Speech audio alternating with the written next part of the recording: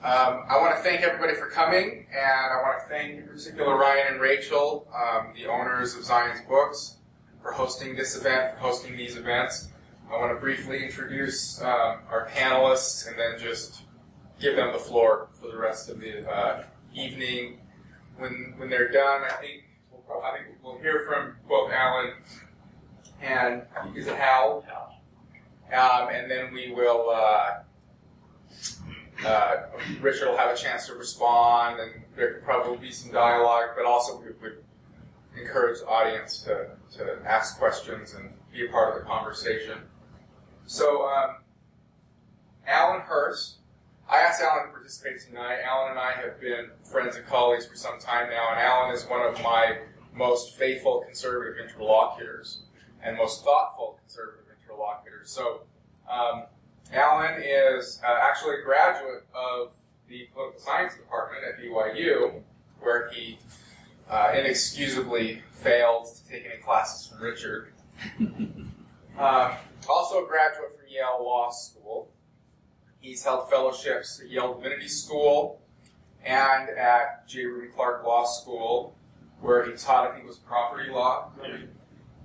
Uh, he's currently clerking at the uh, Utah State Supreme Court and working on legal scholarship. He has a forthcoming article on separationism uh, in the BYU Law Review. And um, am I missing anything? Not really, And, no. and and and he and his wife had a baby this week. Congratulations. So Ten days ago. ten days. Okay, in the last in the last week. So he's on uh, paternity leave. So he had time to spend some time with Richard's book. Um, Richard needs no introduction, but Richard is the author of the book. Um, he's the reason why we're here. He is the uh, uh, respected political scientist and uh, professor of political science at Brigham Young University. Uh, long career in political activism. Um, former chair of Utah County Democrats. He has talked a lot of people into getting involved in politics, including the man to his left, Hal Miller. Miller. Hal Miller, who is a professor of psychology at Brigham Young University, a proud recruit of Richards, and um, has also been politically involved, uh, including serving as the president of Utah National Parks um, Division Council. Council for uh, the Boy Scouts of America. Uh, so I'm just going to now turn the evening over to them. I, like I said, I assume we'll hear from Alan first, and then from Hal, and then Richard will have a chance to respond, and we can all be a part of this. Um, well, I wasn't really expecting to go first, but I can anyway, and I'm glad to. Uh, thanks for writing the book. Um, it was it was good to read it. Um, I, there were a lot of things about it I appreciated. I loved reading the history, in particular, of Mormons and politics, and kind of you know a bit of a discussion as to how Mormons became you know identified with the Republican Party and conservatism generally. Um, I, I think it's difficult for Mormons of my generation to realize that that's the case, to realize this is a fairly new thing, and the church has not always been identified, you know, popularly the way it has been identified now. Um, and related to that, I really liked the plea for, uh, you know, recognition of political diversity inside of religious unity. This idea that that we don't need to be politically monolithic, and that conservatives in the church really need to do more to recognize liberals in the church. I like the discussion of economic inequality. Um, I think this is something, I think you do a great job showing this, where this mattered a lot to the early church. This matters a lot in the Doctrine and Covenants. And I don't think it matters nearly as much as it ought to to a lot of modern day Mormons. And you make a great argument about that. Um, so, again, I'm glad you wrote the book. Uh, and I hope it starts lots of conversations. Um, now, that said, uh, you don't invite a thoughtful conservative to an event like this one just so that you can agree with everything. Um, so, uh, yeah, some some responses, some critiques, some places where substantively I wasn't persuaded. Um, one of them was, uh, I mean, you, you you recognize that liberality of spirit and liberalism of politics aren't aren't the same thing exactly. Um, but still, you know, as, as someone who hopes he's he's uh, a liberal soul in all the good senses, uh, or at least most of them, I'm sure some of them I definitely need to work on. Um, you know, I, I, it still jarred me a little bit to see that put together so much, and I thought, you know, what what bothers me so much about this line you're drawing from liberal soul to liberal politics? And I think what it came down to for me was uh, that I, I really don't think that liberals on the whole, political liberals in the U.S. on the whole, are more conservative, or sorry, more compassionate, more uh, generous than political conservatives on the whole. I, I, think that the difference is more that they're compassionate and generous toward different people. Um, that you know, I, I, think you see this really clearly in affirmative action debates, where you know, political liberals care a lot about discrimination against racial minorities and against women and political conservatives care a lot about uh, discrimination against, say, rural whites, which happens, and discrimination against, you know, local Christians, which happens. And liberals tend not to care about these things, the same way conservatives tend not to care about discrimination against racial minorities. Um, I think you see it in uh, the, the, the, most painful place for me to see it is in the abortion debate, where um, I look at the people on my side and I see just a shameful lack of compassion for women in a situation where they would where they would feel compelled to get an abortion. Um, just total lack of recognition for the situations they're in and the way that society and everybody has really failed these women. On the other hand, I look at some of the lengths that that, that uh, liberals will go to to avoid uh, feeling any compassion whatsoever for the aborted fetuses and I find them sickening, honestly. And so I look at this and I see, again, I, I don't think it's so much a matter of who is more compassionate. I think it's who is compassionate toward whom. Honestly, determines a lot of this. But getting even in more into the substance, um, I'd say my main objection to the book, or the main point where I, you know, as, as a conservative, wasn't persuaded, was I, think you're absolutely right that libertarians um, and a strong, you know, kind of the dominant Mormon political culture tend to draw way too sharp a distinction between society and government, and, and um, tend to see way more opposition between society and government than, than there really is or ought to be. But I kept feeling while reading the book that that here there's too little. You know, here here there's there's um, not a lot of recognition of the important ways where, where society and government are distinct and where the two don't necessarily get along. Um, and where you know government as an agent of good is is really inferior to, to private choice, private action as an agent of good. Um, you know, I, I, think there are a lot of these. I think one of them is control. You know, that, that if I, you know, imagine if, I had a choice between uh, dedicating a certain percentage of my, my income to charity myself or giving it to the government and having the government do it, um, you know, how, how would I be different one way or the other? Well, control-wise, if I did it myself, then I would be able to, to influence and control where it went. But if I didn't, or if I give it to the government, then some of it's going to get spent in ways that I think are good, and some of it's probably going to get spent in ways I think are terrible. And I don't have any control over that.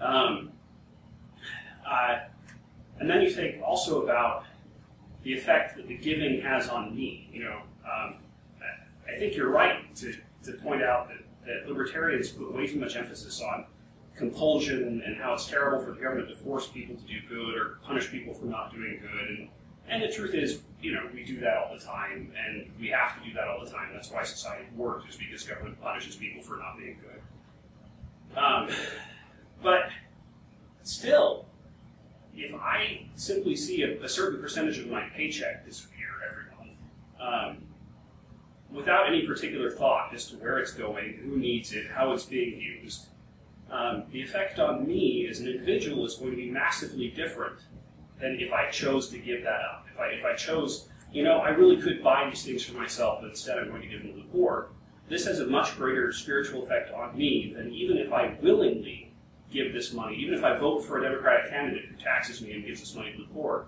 I think that if I do it myself, I'm better off. And not just I'm better off. Probably if I do it myself, there's a good chance I'm going to do it through some association or group of which I'm a part. And my charitable endeavors will, will mix with theirs, and I will work with them to accomplish good things in the world.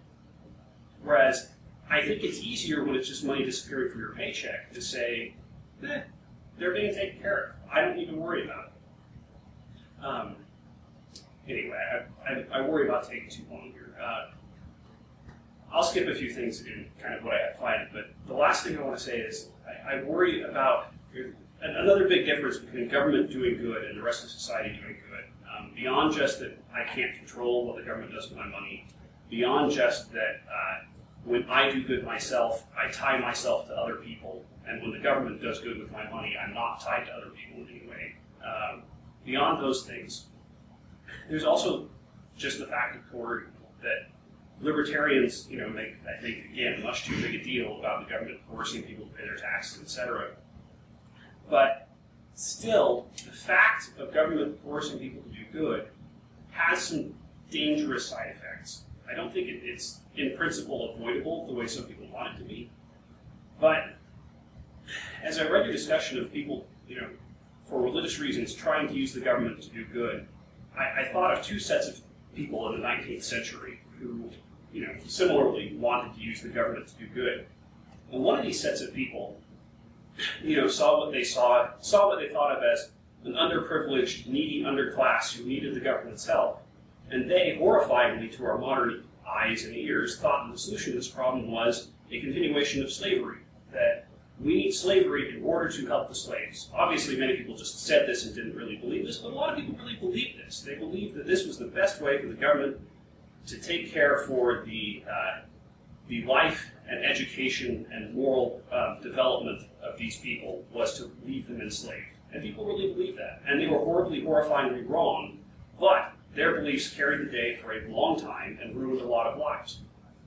On the other side of the same debate, you had people who had a similar feeling in the opposite direction. They were convinced that slavery was wrong, that it was evil, that it was contrary to their religion, and that the best thing government could do would be to abolish it.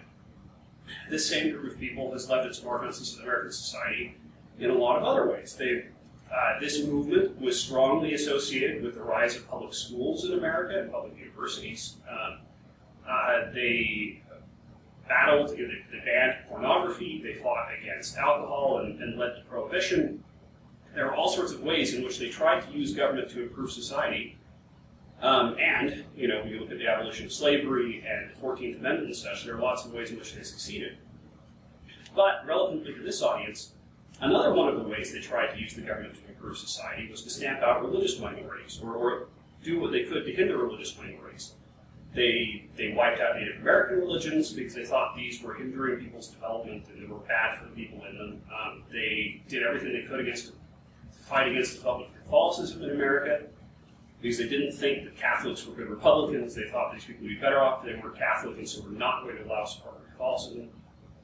And, of course, they came out to Utah and they tried to extinguish the Church of Jesus Christ of Latter day Saints um, not just end polygamy, but destroy the church. And the reason they did this was, sure, some of it was bias, some of it was prejudice, some of it was they didn't have respect for equality, but some of it was they thought that this institution was committing great evils in American society, that it was oppressing women, that it was keeping people in poverty, that it was preventing people from getting educated and becoming free, equal citizens in the United States. And because of all these things, they thought this institution needs to be eradicated. And so these people, who in their minds were, who thought themselves very good people, um, and who did, through their moral motivations, their desire to use the government for good, accomplish great things in America, also accomplished really horrifying things in America. And so the greater power of government to do good, the power of government to, you know, for example, raise the standard of living of the poor far beyond what private charity could ever do, it comes along with the power of government to oppress and destroy, and all of it in the name of good. And that worries me, and that is probably ultimately why I'm conservative. So.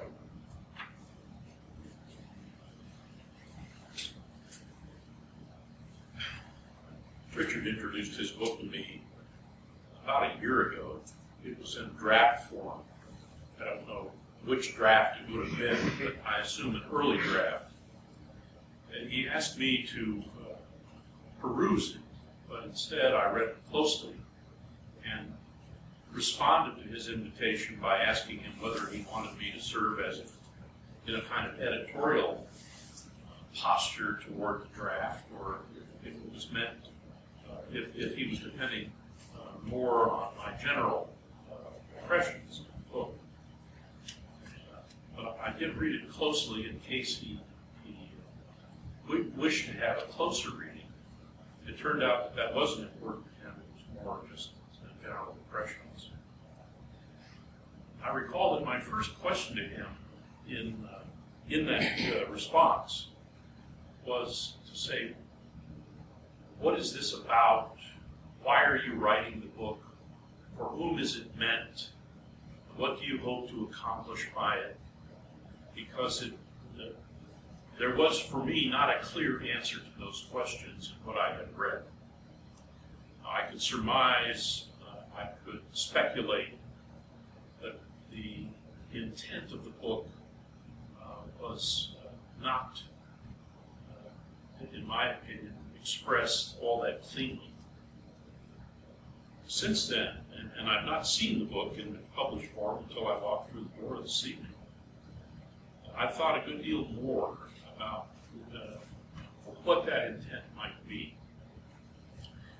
It seems to me that within the book there is a theory of, uh, proposed now by someone who is uh, an astute political thinker, political scholar.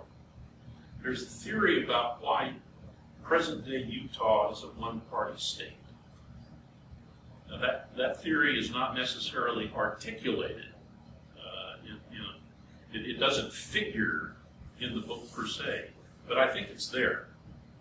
And so someone who has an interest in that phenomenon and in wondering about whether it is pendulum-like or if it's here to stay uh, even longer than it has already stayed, uh, then one I think could read this book uh, profitably and find that theory in place. More important, though, for his purposes, I think, is to extend a gentle invitation to individuals not otherwise inclined to think about their politics vis-a-vis their own personal moral or ethical philosophies and their own uh, religious orientation. I see this as a gentle book, a gentle invitation, possibly calculated to nudge uh, what I hope will be an appreciable segment of the state's of this state's population. Uh, that is ignoring the fact that the book is written at large to uh, to, to Latter-day Saints and, and, and persons of comparable faith. Otherwise, that it will nudge them toward a more uh, careful inspection of how they have come by their uh, political philosophical inclinations, whether those inclinations are simply borrowed uh, and taken for granted, sort of borrowed from the parental generation, borrowed from the popular media, borrowed from the uh, stature struck by authority figures in the LDS Church and otherwise, or, or whether their, their leanings are more deeply founded. And, and scholar as he is, my guess is that he, he he's wishing for that deeper founding of, of these personal uh, philosophies and principles. And so, in a, a series of chapters uh, directed toward a series of issues, he is in essence appealing to the reader who might come to the book with uh, uh, some aversion and some disinclination to, to, to, to come and reason together, as it were. consider uh, this uh, historical background that you may be unaware of. Consider the philosophical issues at work in this in, in this particular issue, this particular phenomenon, and the and consider the possibility that there are issues here or sides of the issue that you have not inspected with any carefulness before. And, and, and if you do so, see if you are not inclined to uh, allow some disturbing of what you have taken so long for granted and assumed to be the case. See if perhaps you might be nudged to a different, new, possibly liberating uh, perspective. And, and, and, and, as a teacher, that is someone who's made his living for a long time as a teacher, uh, I, I, I necessarily must applaud that, that kind of interest on the part of the author. This is a, a liberal publication in, in, in the finest sense. It's meant to, to, to uh, call into question.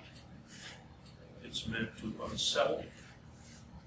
It's meant to open eyes and hearts, and ultimately to uh, allow individuals the opportunity through their own thinking and sifting way to find themselves in a better position. Thank you. Thank you very much. Uh, I uh, I realize now that I'm more liberal in different ways than I thought I was uh, to write a book that was liberal in different ways. Um, so, so let me explain why I decided to write this book. It really has been preying on me for a long time, um, many years. I've thought about the fact that there was not in the literature something that was close to my views. And uh, there's there's you know, there's books about the compassionate society, but not from the perspective of LDS doctrine.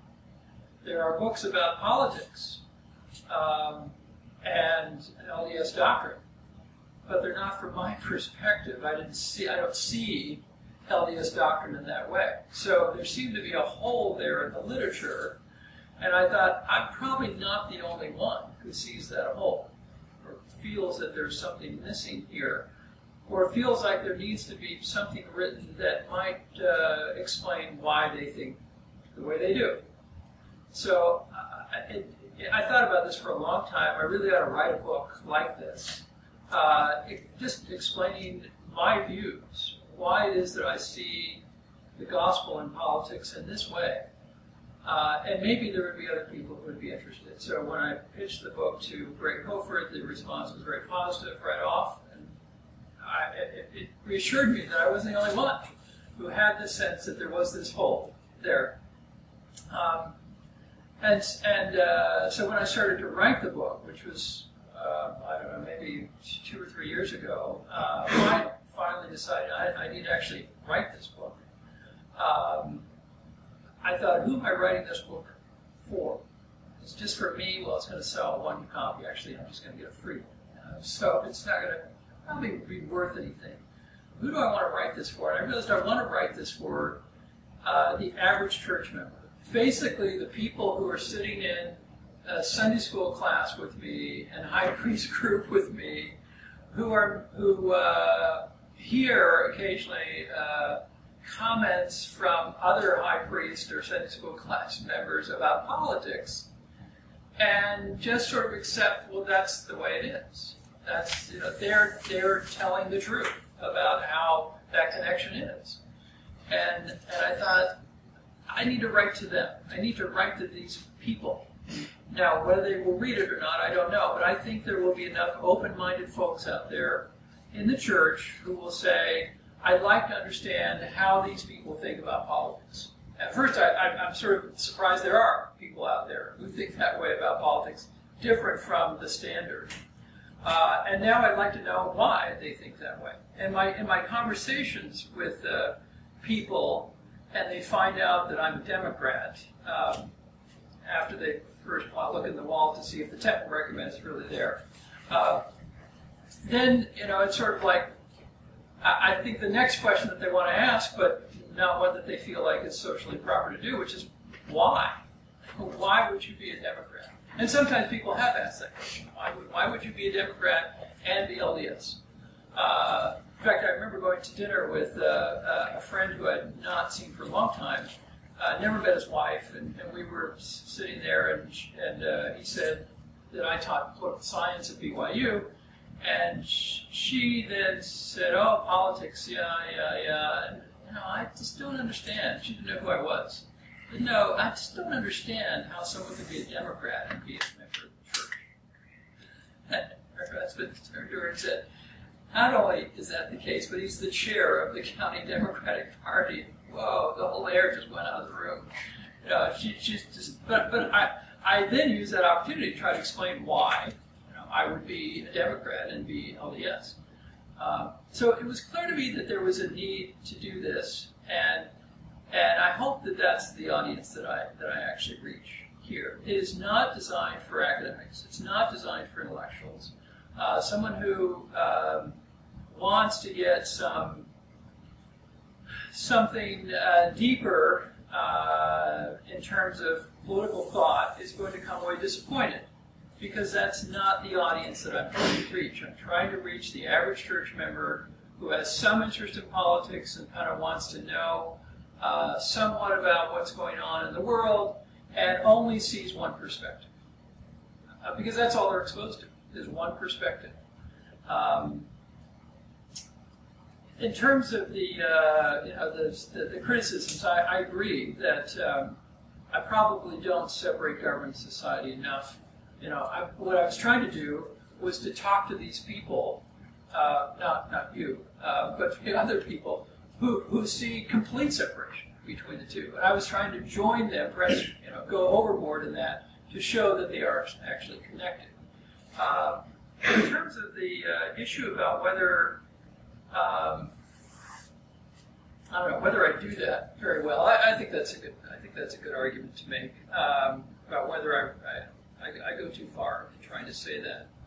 Um, in terms of the issue of compulsion on uh, taxes and other issues, uh, other, other ways in which government compels, and I do give examples of how we get compelled to do things that, that libertarians don't tend to complain about. Uh, but I guess my response to that is, uh, does it help me or do I not actually get affected by taxes being taken out and government using those taxes for good purposes? Uh, I think it just depends on how you see it. And, and I try in the book to show these are the things how government impacts your life in a positive way. I, I don't know if you remember that, you know, that whole uh, description of the day in the life of the average citizen. So I'll explain it to you who haven't read. Uh, so I, I say, you know, the average citizen gets up in the morning and they go about their day, and they probably don't think about the fact that um, the police were patrolling in their neighborhood that night. And so government, through the police, was actually already working. They probably weren't thinking about the fact that in the night their, their country was not invaded by some foreign army. They weren't talking, they, they, uh, if there was some kind of a natural disaster, that there wasn't uh, a civil defense operation in place. When they then get up and they go to work, they drive on roads that were built by the government and maintained by the government. Uh, they probably drop their kids off at school. Well, who runs that school? Uh, and if they have older children, they, they're going off to college. Well, it's likely to be, except where I work, and you work, uh, a public university run by government. Uh, so they don't even think about these things. We, we don't. We, and, and that's the beauty of it. If you don't have to think that means the government is actually working in your behalf. Uh, and those dangers that could happen to you. I mean, th- why is it that your house stays intact? Is it because uh, necessarily developer, all developers are good and honest people? No, it's because they have to abide by codes. Well, whose codes are those? other government codes. So in so many ways, there is that, that connection there. So I think people say, will will will think government is bad because that's what they normally see. They see the scandals, they see the taxes that they have to pay in April, and I feel the same way when I have to write out that check. Uh, uh, it, it, I, I pause and think, well, man, there's a lot of money that I'm having to pay for taxes. And I have to think about, is there a good to this? But I think if you think about that, if you think about, well, there, are, there is good, it completely, un, uh, is completely good? No. Are there programs that I don't agree with? Yes. Uh, is there waste? Absolutely. But on the whole, the principle is, yes, it's good. It goes towards good things. And many of those things actually touch my life directly. And so if people think about that, then, then uh, they can, I think, be benefited by that kind of a, an attitude. Uh, is it the case that they should see that as a substitute? No. For their own giving, and I think I make that point, that really there's these three levels. Right. There's the individual level, that we should be liberal souls on an individual level, giving to others, serving others, uh, using our time and talents and energy in order to help others. There's the group level, the organizational level, uh, and certainly the LDS Church falls in this category. The Boy Scouts fall in this category. Lots of private organizations fall in this category, doing good through that. But that's where many people stop and say, that's it. Government doesn't do good. And, and I, I say in this book, no, there's a third level as well. And that's the societal level. And, and then, so I go overboard probably saying, but that's also government. Government is a tool of that society to try to do good. And if we say it's only at the, these two levels, then I think there's a lot of good that isn't going to happen. That cannot happen because it can only really happen at the societal level.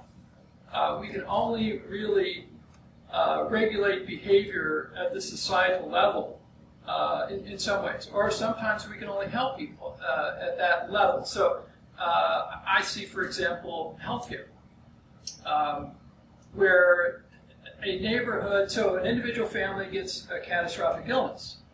The family can't deal with that. The individual can't deal with it. Family can't deal with it. Uh, the neighborhood, could they get together, you know, and raise twenty thousand dollars? Sure, that'd be wonderful to do. But what if the bill is is is a half million dollars? I mean, what then?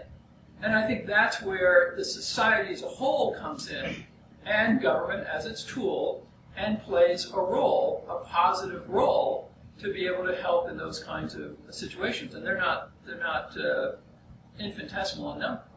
Um, so I think that's that's my uh, interest here is to say to people who who will stop at this at the group level and say, you know, I will do things with my family.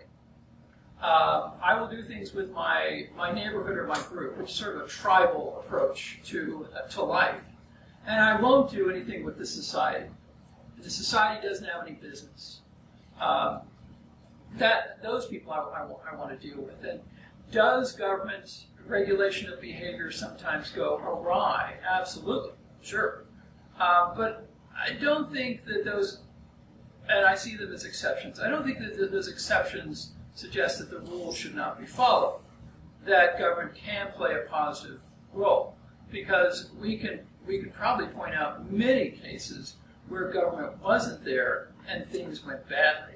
And you, the, the, the, 19th century, again, is a good example of that. Uh, and I think that's actually true of the internet today, you know, where many people are getting harmed by what's going on online, uh, and government is not playing a role to try to stop that from happening um, from child pornography to invasion of privacy. So uh, that, that's the purpose for the book. Um, I appreciate you coming. Uh, I appreciate uh, your, your interest. Uh, and I'll turn it over to, to Brad or questions. Or well, I actually have a question, uh, a couple questions that I want to start with. So um, I, I kind of want to hold your and Alan's feet both to the fire a little bit on some of the thing, uh, uh, uh, on something that each of you said. Um, so, for um, for you, Richard, um, I would like you to respond to um, the following. As you as you you you sat there, you made a case for um, the good the government can do. And first of all, let's agree that, and as as as, as a just a matter of personal disclosure, I'm a really really left to center guy. So I'm, this is as much just in the spirit of dialogue as anything else. But I would I would really like to hear you articulate an answer. We can agree that there's a lot of common ground between liberals and conservatives about some of the good the government can do.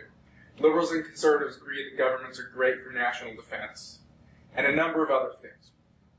But they also strongly disagree about whether the government is good at doing other things and whether the government is, is capable of doing certain kinds of good.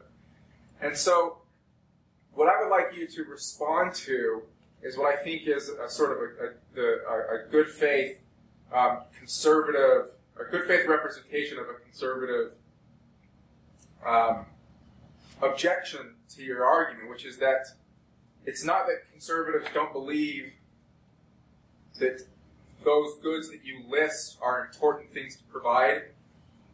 It's that on balance, they believe that those things are better provided by things like market structures, for example. So poverty alleviation is, on the whole, aggregate going to um, going to go better if markets are allowed to work with not absolute non-intrusion, but with less regulation and intrusion. In other words, it's not at all a disagreement about whether we should be concerned about providing these things. It's a disagreement about whether or not the government or um, the non-government is better at providing those things. Um, and then I want to ask Alan a question. So I don't know if you want to respond, and then I can pose the question to Alan, or if you want me to ask the question to Alan and turn it over to both of you. Yeah, go ahead. So my question for you, Alan, is about this issue of coercion, and I think you articulated two sides of it that um, that I tend to hear a lot out of conservative circles. One is the coercion in terms of the government's relationship to the taxed individual, and so there's this kind of this uh, uh, this standard objection that that if you're forcing me to give charitably, that's not real charity. If you're forcing me by taking money from me to help others, that's not real charity, that's not real help. Mm-hmm. And then the other side of it is the a sort of a, a, a much more macro coercion, which is the idea that you articulated quite well that a government that is capable of acting for good also by virtue of having that power, that ability to act to do good, also is capable of acting to do badly. And sometimes when we empower the government to do good things, we also do it in a foolhardy way or even in a very frightening way. So my, uh, what I would like you to respond to are um, objections to both of those, those sort of, those concerns. On the side of the individual, the objection that I would raise is it's not about that individual at all, right? So it's not if you if you frame it in terms of charity, its force isn't real. It's from from my perspective, it's totally irrelevant. I don't care if it's real charity or not. All I care is that it's feeding somebody. I don't care what you call. I don't care. I, I don't care if it has any positive effect on you as the person being taxed. I couldn't care less. The other uh, objection is um, on the side of government coercion and a government that's capable of acting is capable of acting in a, in a harmful way, I think the answer to that is something that conservatives also tend to object to a lot, and that's bureaucracy.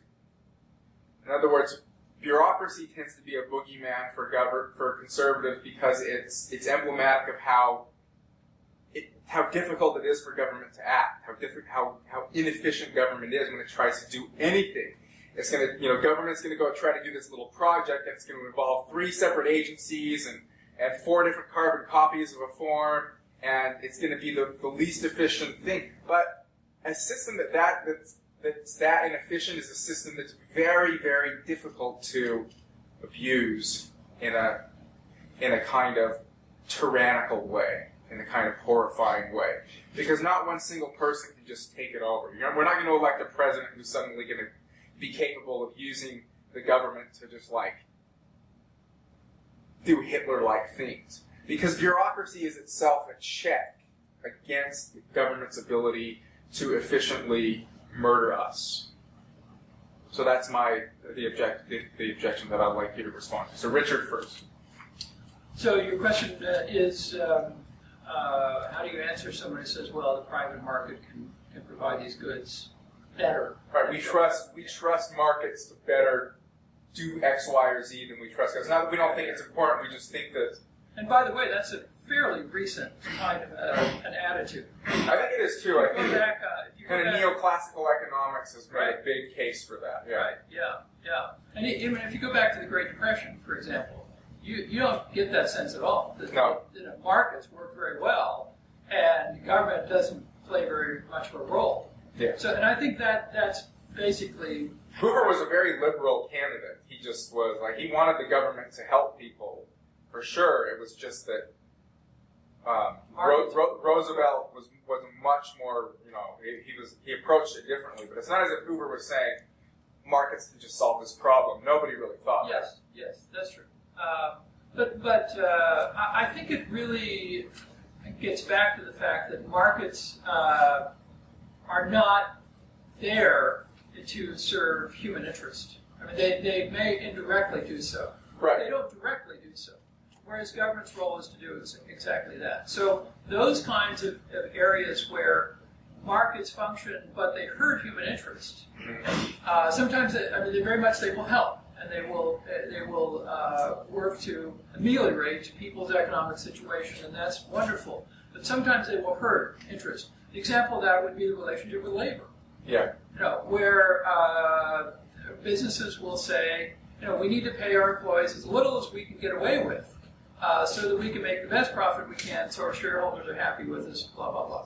Uh, that that kind of uh, thinking doesn't help the, the humans who actually work for those companies, uh, and that's where government has to come in and provide some help for those who are hindered, and particularly in a kind of society. I mean, if you were to go back 500 years, where where we had, you know, small craftsmen and uh, people were on basically more of a equal level with each other, in terms of you know the candlestick maker and the butcher and the baker and all those people, uh, then they were they, they could interact with each other uh, in a commercial way in more or less an equal way. But that's not true today. Mean, each of us is a uh, likely to be an employee of some large institution, and that institution compared to us is just gargantuan. And and even though unions may come together in order to help collective bargain, but what does that market do? It tries to stop that from happening, and that's where government comes in. Um, or so, if you take something where society uh, determines that um, the market isn't doing this well, I think that's where that's Okay. particularly where government has to play that kind of role. I think healthcare falls in that category I do too, for Because personally. health- I agree. yeah, yeah. At least catastrophic health. because healthcare doesn't uh, because healthcare in, involves people who are not well off. Uh, otherwise, you probably wouldn't use it. Uh, uh, insurance industries, the insurance industry has no incentive to cover you if you are going to be a drain on them economically. And yet, this is a human interest again. And so the government has to come in, I think, and say, no, we can't allow that to happen because these people will be without. And we have to help them provide, we have to provide for them in some way, if not health care, health insurance, so they have access to health care. So I think that's, I think it's sort of where the market doesn't work well at this, would be one way to say that. Uh, and I think another is you have to have an umbrella of government control over the over the economic uh, intercourse of people, because otherwise the markets will have a tendency to go awry.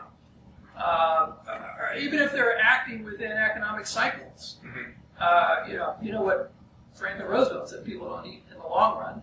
You know, people people need to have uh, the basics now, and and they can't survive as a corporation might be able to the long run. You know, the economic downturn that takes place.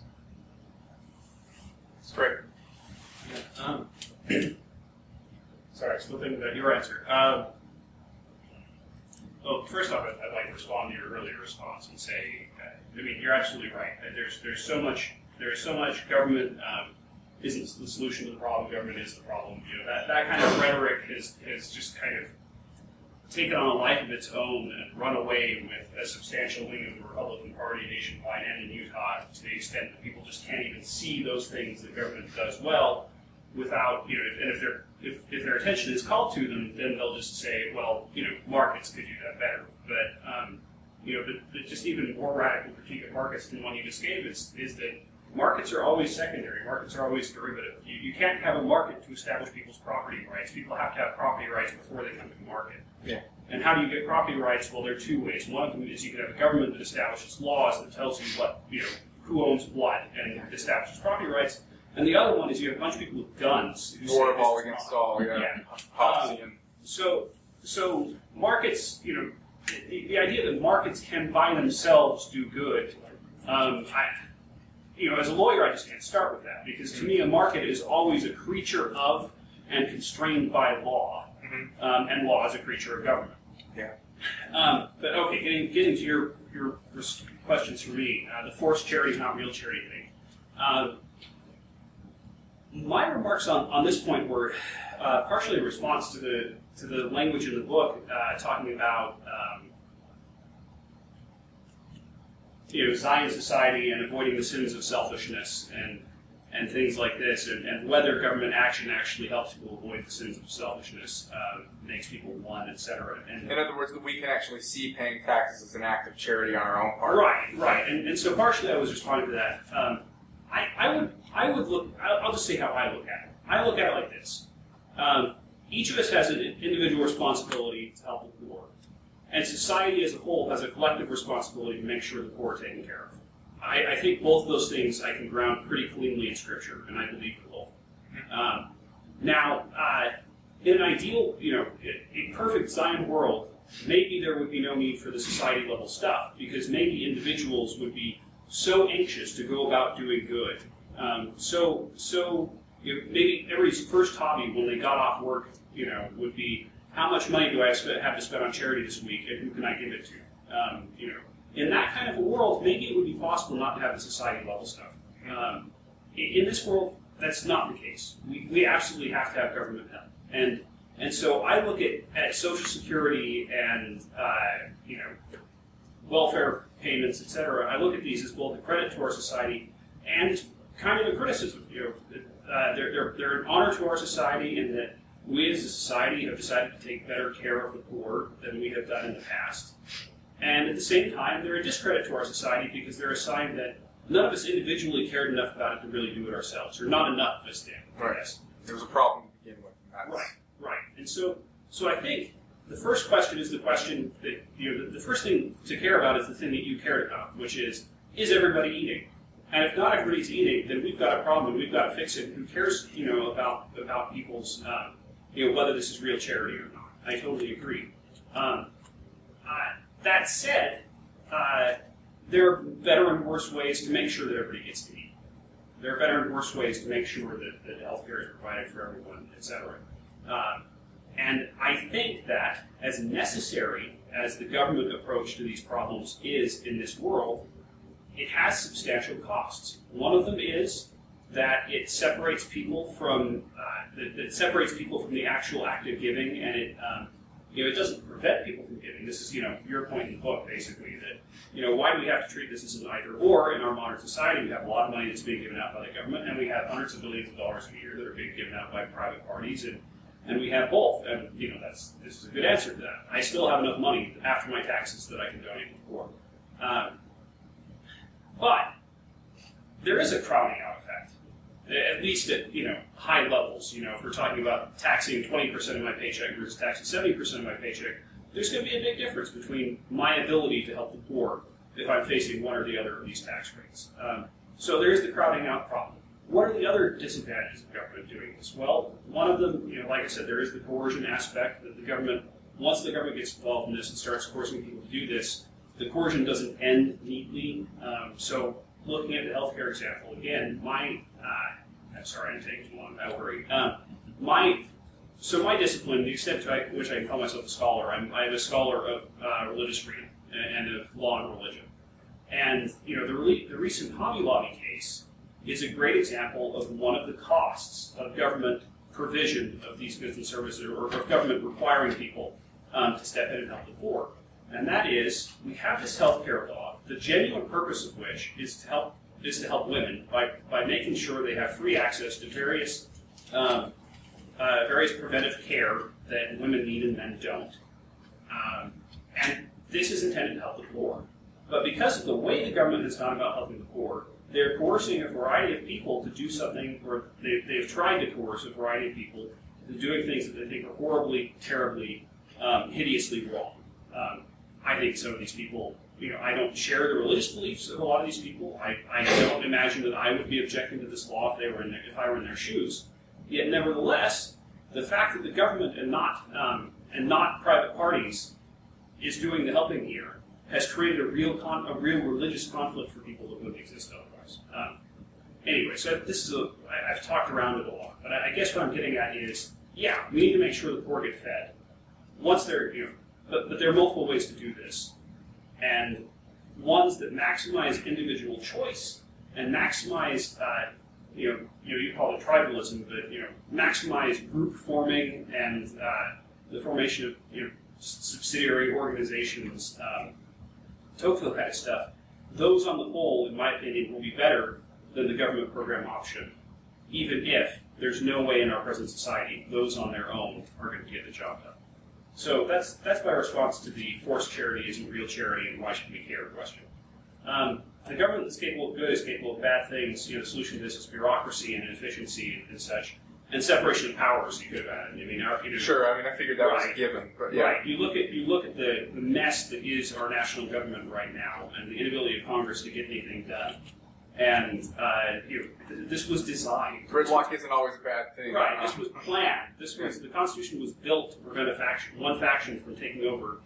Um, and we have very factional politics today, and the fact that the factions can't cooperate makes sure that nothing happens, and that's it's designed into the system. This is a Yeah. feature, not a bug. Um, but uh, I guess my two responses are one, you know, bureaucracy isn't necessarily a protection, and checks and balances aren't necessarily a protection. Um, just because, you know, I, I served my mission in Germany, and the Germans invented bureaucracy, and they invented bureaucracy before Hitler, and Hitler used bureaucracy to, to pursue his means. It was not a check. Yeah, lawyers were not a check. Judges were not a check. These were all tools of the Nazi state, um, and they ended up being powers uh, for the Nazis rather than checks on them. Um, but uh, beyond that, my answer is yeah, I, I agree with you. We need procedures, we need laws, we need lawyers tying things down in red tape for years. And, and this is how we prevent these efforts to do good from doing too much harm. So I, I agree, this is the case. This is an inevitable cost, a necessary cost of doing business through the government. Um, and, uh, and it's one of the reasons why we'd all be better off if we as a society were better people and more charitable and more able to shoulder these burdens ourselves instead of um, putting it all on the government and then fighting over the government to see how the government does the job. Thanks. Yeah, uh, I think there's an undercurrent, Richard, of, of the subject of an empathy gap that you are trying to address in your in your book. I mean, put it that way. Um, first of all, we know the difference between empathy and sympathy. Obviously, is the ability to put yourself in the person's shoes and feel what they feel. Now, it's easy for us to sit here and panel and, and provo and intellectualize the whole problem because we're not the ones going on hungry. But uh, and that's what I mean about empathy. So what's interesting to me is, uh, as Latter-day Saints have gone from a very poor society of pioneers to a point now where we actually in the middle to upper class in terms of median income versus the rest of the country, our ability to empathize starts to go down. Uh, an interesting thing that I, that I found out is that McClatchy uh, papers did a survey that found that the poor gave to the poor at twice the rate as the wealthy did. And not only that, but the middle class was even more of a tight uh, skinflint group than even the wealthy. And it's by 2x. It was the, the study was repeated by the University of Toronto, essentially validating with one other, a third uh, study I knew about, the origin. So, um, this whole empathy gap starts to go. And Pamela Atkinson, or you know, the anti-poverty person in Salt Lake, she, she said essentially the same thing. The poor understand the plight because they've been there. Now, this book, I think, is an attempt to close the empathy gap. A very tough thing to do. Um, part of the Bible where, where Christ says that the whole widow's mite story. And you can, you can argue that the wealthy give a lot more money than the poor, and that's true. But the widow's mite lesson that we're taught by Christ is that Christ essentially said, I'm not pressed with all these rich people giving all this money because they're giving of their abundance, that is, in excess of what they need and want. Whereas the widow gave essentially what she had. She's the one who's blessed in terms of Christ. So, you know, we, again, we, the degree of empathy, and I know how you went to Finland and, and you had kind of this empathy gap too. You saw people who couldn't eat. You came back with not much of an empathy gap, if any. When I was a kid, my mother and my sister and I lived in poverty because my father was an alcoholic and he abandoned us. So we could go into that whole story, but I empathize with people who can't hardly find a thing to eat or didn't have health insurance. My sister and I had to couldn't go to the doctor when we had the measles because we didn't have health insurance, so we could afford to go on our own. So we were part of the working poor. And so as far as I'm concerned, my empathy gap is pretty small. I think what you're trying to do is, is close that. I, I would agree. I would agree. Yeah, I think you you described well the situation of a lot of Latter-day Saints. You know, um, and you don't have to go back to the pioneers. You can go back to the 1930s, where many people in Utah were lower middle class. They were working class, and you know, going going and working at the welfare farm made sense because you know, I could be the one next week who needs that welfare. I think it's a lot harder for our fellow church members today to get that sense that oh no, I could actually be in that situation. I think there's you know more of a stigma of oh that person's on welfare, you know, church welfare, government welfare, any kind of welfare. Uh, you know, there there there are all sorts of stereotypes that start to, to come up from that. And yes, I would like to deal with that, and particularly with this chapter about the poor. Uh, how we treat the poor says a lot about us as a society, and, and that's both as a society writ large and as a society of, of Latter-day Saints as well. And uh, and it it, it does it, it bother me. And again, in the book, I talk about the, uh, how people contrast government welfare with church welfare, and basically say church welfare is is great. You know, it's done the Lord's way, and government welfare is done obviously the other way and, and suggest that those two are polar opposites. And I say, no, actually, they're complementary with each other. Um, because church welfare cannot serve very many people relative to the population of the world, or, or the United States, or even Utah, for that matter. I mean, can you imagine if there was no social security system, there was no uh, Medicaid system, if there were no food stamps, you know, the supplemental nutrition assistance program, could the church compensate for those? No, there's absolutely no way that that could happen. So it has a very limited kind of a scope. Uh, and, and, and more than that, we often think, we often say, well, the church welfare system, because it's, it's set up by the Lord, therefore it's run by people who are doing it in the right way, and there's not bureaucracy and there's not waste. Now, I would agree that there are volunteers who run much of it, and they do, I think, have the best of heart for the most part, but that doesn't mean there isn't bureaucratic waste. But the, what's the difference here is that we don't see it, because the church is not transparent about these things. Government, on the other hand, must be transparent about these things, and so we see it, and it becomes public, and we, and we point at it as an example of how government is bad. Uh, and also, church, I mean, who, who runs the church welfare system? And what is our role as individual members in that system? Very small. Who do we take a vote on who to help? No.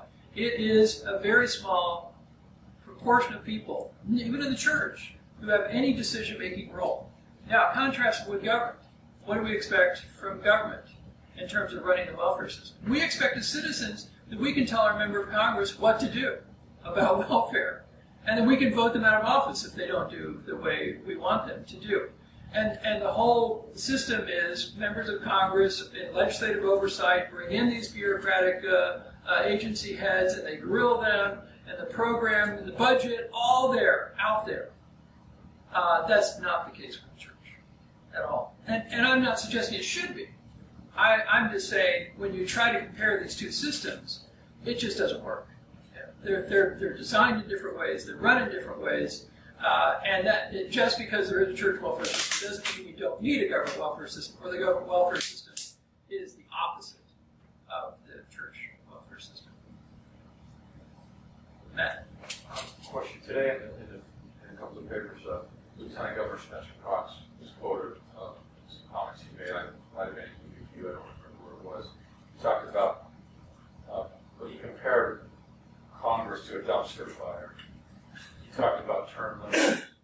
I, I thought he, he had some pretty good comments. Uh, I'd just be interested in your view regarding public service, uh, especially whether it's local or, or on a national level of elected officials. And, and for instance, what do you feel would, would help contribute to the ability of uh, the parties to work better together? Do you, do you feel like term limits would, would contribute to that or, or anything else that might help them? Yeah, well, how much time do we have? This is a whole lecture. And I don't want to get outside Yeah. the purview of the message of your book. Yeah. Um, there, there, there are a lot of causes of the kinds of uh, uh, partisan gridlock that are going on right now. But getting back to your issue of public service, I, I hope that, that I encourage that in the book. I mean, I make that point about there's a chapter on civility and how we treat each other in the church when we disagree with one another. First, recognizing that we do disagree, that there are people in the pews sitting near us who don't think the same way that we do. How do we treat those people? Do we see them as foreigners, aliens, uh, not worthy to be there? Um, that, that's, that's one. Uh, but another is we do need to be civically engaged. In fact, I, I quote President Benson on that. We need to be involved in our communities to, to be able to make a difference. I mean, I think Latter-day Saints should should do this, but in a way that respects and tolerates and and builds rather than the, the often the negativism. You know, I'm involved because this is what some people say. I'm involved so I can save the Constitution because it's hanging from, by a thread. Because why? Because these people who are running the government are evil, and I need to go in and help save it. That, that kind of that kind of public service involvement motivation is is not very good because you see everything in, in these uh, good and evil terms. And that's not really how most of the world works. Um, um, and I don't believe that government service is the only way that you can serve. Um, I would like to encourage people to, to get engaged in government service, but an example is what we were talking about before, the, the debate commission. So I've been involved in setting up this commission that uh, hosted the debate that took place last night, once next uh, tomorrow night, and three more coming. Uh, it's all private. Uh, it's it's not. There are no government funds. Um, all the people are doing it uh, because they want to make a difference, and it's all outside of the realm of government. So I think that you can, you should be involved in, in government. You should be involved in non-government. Uh, I think there are places for, for all of us to be involved, but that involvement should be driven by the sense of empathy, an understanding of others, a view of the world that is broader than my own neighborhood, you know, my own street, my own ward, uh, and and it should be driven by a sense that I want to use government to, in, in good ways, and that I, and I don't see government as just fundamentally bad, um, because I think those sorts of people just want to go in and tear it down. Um, uh, it was Grover Norquist, who's a uh, I can't remember what group he's, Taxpayers Union or something like that, who said, you know, what I want to do is take government and make it smaller and then take it to the bathtub and drown it. uh, he certainly has the right to have that kind of motivation, but I don't think that's uh, the kind of motivation that, that people ought to have. Yeah. Yeah, it's, it's, it's funny. Um, this will probably surprising, but actually, this was part of the, the part of the book that I found myself disagreeing with the most. um, the, the civic engagement part, and that is, I tend to think that um, civic engagement today, at least, well, one, I, I think the, the villainizing and de, you know, um, demonizing um, all that. I mean, this is how this works. That's how this has always worked. I mean, I've never. I, has there ever been a democracy where that wasn't the currency of the realm? You know, one, you know, both sides. You know, the the way they either side would win is they pick one set of people they're going to that they're going to say are evil and to destroy everybody, and they're going to pick another set of people and tell soft stories about them. And and you know, and if, if you find if you find one side's set of evil people and soft stories compelling, you go to the one side, and you find the other side's set of evil people and soft stories compelling, you go to that side. And that's that's how it works. Um, and and that to me is a cost of, of doing so much stuff through government. You know, I, part of me wishes people didn't think government mattered so much because I think the time spent, the time people spend on national politics, by and large, could have could have been spent in much more productive ways. You could do so much more good um, locally, you know, uh, and, and government or you know or civic nonprofit, what have you. Um, you know, I could I could spend my whole life trying to influence federal politics, and and if I could point to one decision that one congressman made at some point because I was you know because I was involved in exerting influence, you know, I'd say it's probably a pretty successful career if it trying to influence politics. Actually, swinging the outcome of the congressional election, I think, is, is beyond the means of me or, or nearly anybody whose net worth is you know, fewer than nine figures. Um, so, I, to, to me, this is a distraction. To me, I think, yeah, people should vote because people's failure to vote is what makes the rile up the base strategy so successful. If all the moderates were voting, then you'd have to try to capture the moderates, but because the moderates don't vote, you have to try to rile up the base. Okay, so that that problem I definitely see, but but I, I don't imagine that people who get involved in national politics thereby become better neighbors, thereby become more concerned about the, the poor, uh, the people that they can actually influence and help. Um, I think it's much likely to be the opposite. I think it's if, if I've spent all my time trying to do good by keeping those those evil insert party name here out of the White House, that then I'm off the hook. I don't need to worry about this. I, I, I did my civic duty, and the fact that, that the library or the homeless shelter in my community is about to close down, well, somebody else can worry about that because I worry about national politics. So, so I'm, I'm a, a localist on this. I, I, I don't think the federal government is a good focus for our, our, our civic energies. Any other questions?